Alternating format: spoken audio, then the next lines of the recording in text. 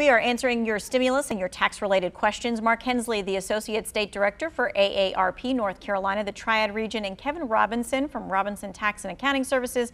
They are back with us. Don't forget, tax day is April, April, July 15th. We're so used to saying April, but it is July 15th, which means that is next Wednesday. So you have less than a week to get your taxes done. Uh, someone is asking, Mark, um, what could be the reason I received $900 in stimulus when everyone else I know got $1,200? There's a simple answer. Um, if your adjusted gross income is over $75,000 as an individual, incrementally your stimulus payment will go down, down, down. So, short answer is you make too much money to get the full amount, but you're getting something. Mm-hmm. Um, so, Kevin, someone said, I used the low income assistance program to file my taxes last year. Due to coronavirus, they shut down before my appointment. Is there any other kind of help available? I'm thinking, Tanya, a lot of that's you know available online, and even I would check some of the online, even through the IRS, and um, some of those uh, download tax uh, software that can be online for low assistance like that.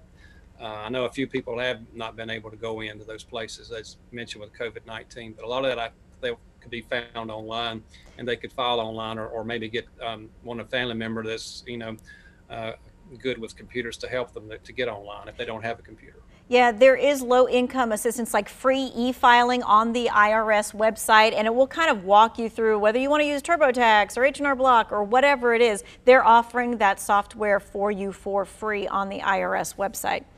Um, okay, someone is asking if my wife and I receive Social Security, um, will we still receive a stimulus check also? Yes, I'm very proud that AARP advocated at the national level for Congress to include people on Social Security. We know that they are the most vulnerable with a fixed income. We were asking them to buy up extra medicine, food, and supplies, and so now they they are some of the first recipients of a stimulus payment. If they've not received it yet, go to irs.gov and check your status. Mm-hmm. Um, this person is asking Do people in prison or jail qualify for a stimulus check? And this is kind of a tricky question to answer. So, Kevin, we can pitch hit on this one. Mm-hmm. Um, remember, the IRS is going on what your status was in 2018. If right. you were not incarcerated, your family could have easily gotten a stimulus payment yes, for you. Yes, yes, that's true. And then, of course, as you mentioned, that they could have gotten incarcerated by the time the check come. You know, so you know in that case, anybody incarcerated generally doesn't, but it could be that their family could get it or something. But, but most people, yeah. But incarceration is not a reason to send it back. It does belong to the family. Exactly.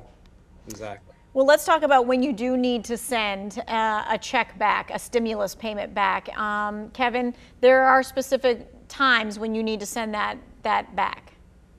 Uh, that's a good point, uh, Tanya. Case in point would be if a couple got a $2,400 uh, stimulus payment, married, filing jointly qualified, but by the time the check come or before, you know, the top, before the check come, one of the uh, spouses died, then in that case, the 1200 or 2400 becomes really 1200. And So really 1200 would need to go back to the uh, Memphis Refund Inquiry Unit Mark mentioned since that the person died. If a person dies afterward, uh, it's a little bit different, but if they die and before that check comes, then there is they need to send that back for that spouse. And there has been many of those happening where the a deceased spouse got a stimulus check, and so that the IRS will be coming for that eventually. Really quickly, Mark, um, someone's saying, are people older than 70 receiving a stimulus check later for a certain reason? This is all the deployment of payments is all based on adjusted gross income. We're just now at the point in the calendar where people at $75,000 adjusted gross income are starting to receive their payments. Okay, and so at that point, then that may be something where we need to check uh, irs.gov for you to see where that is. And again, if you don't get your stimulus payment this time around, you can always use it as a credit for your taxes next year. I know that's not the most popular thing to want to hear that, but at least that is an option to make sure that you get your stimulus money. Thank you, both of you, for uh, lending us your expertise, lending us your time. Thank you for your questions.